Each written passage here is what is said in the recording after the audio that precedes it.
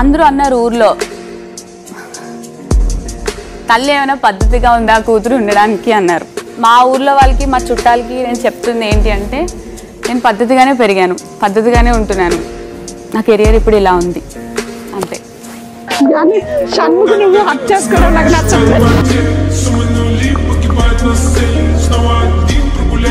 నాకు చేస్తున్నాడు దగ్గర అయిపోతుంది నాకు నచ్చట్లేదు